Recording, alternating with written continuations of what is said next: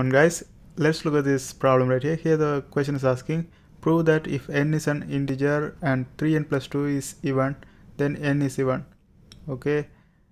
Using a proof by contraposition. Contraposition is basically we take the negation of these two 3n plus 2 and uh, this whole statement and we just flip around.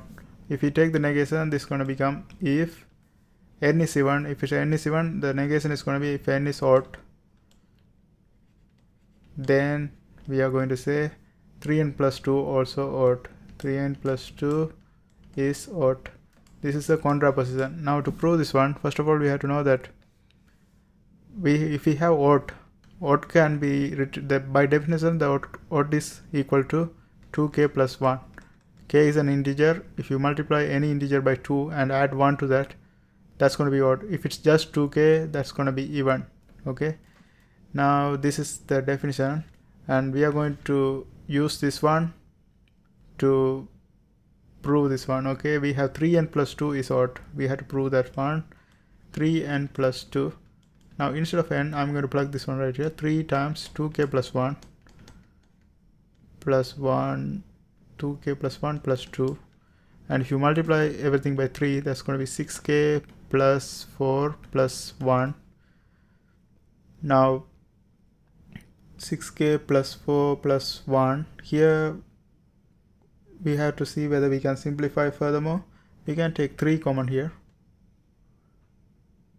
If we take 3 common actually 2 common if we take 2 common that's going to be easy because we want to prove whether it's even or odd. If we take 2 common that's going to be much clearer 3k plus 2 plus 1 okay? So now we have brought to this pattern. Here you can see this 3 is an odd I mean uh, 3 is an integer. 3 comma k and this 2 is an integer. All of them are integers. Integers. Integers and we are multiplying. Okay let me write it clearly. We are multiplying all these integers by 2 integers by 2 so this whole part is an even. If you add 1 to even that's going to be odd so we are having odd right here. So we proved that one. 3 plus 2 is odd so we can finally conclude this one as integers. 3 n plus 2 is 2 times 2 times some integer plus 1 plus 1 then by definition of odd integers then by definition of odd integers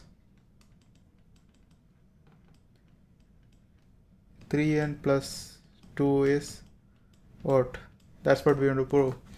If we prove the contraposition it automatically proves the original statement because contraposition and original statement always means the same thing okay so we proved this one. I hope you guys find this video helpful. And if you are trying to learn discrete mathematics there are a bunch of videos in my playlist. I hope you guys watch that too. And don't forget to subscribe.